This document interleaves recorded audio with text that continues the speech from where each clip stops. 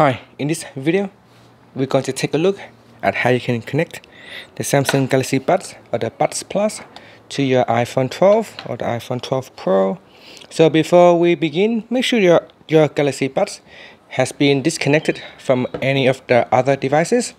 So if it is connected to another device, first disconnect them first, and then we're going to make sure that this is open.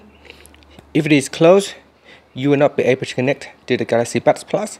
So have the case opened and then on your iPhone, tap on settings on the home screen and wait for it to show up in the Bluetooth settings. So in settings, you tap on Bluetooth and in Bluetooth, just wait for it to show up in other devices. If it does not show up, maybe you can try to take it out of the case and then put it back in like so. Or you can try to close and then open it again.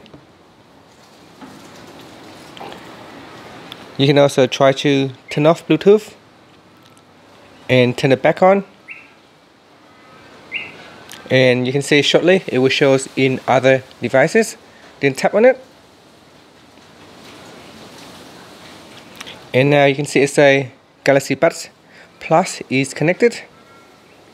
And that's it. So once it is connected you can play uh, music you can uh, play YouTube videos or any of other videos. Will go through your uh, Galaxy Buds uh, earphone and that's it. Thank you for watching this video. Please subscribe to my channel for more videos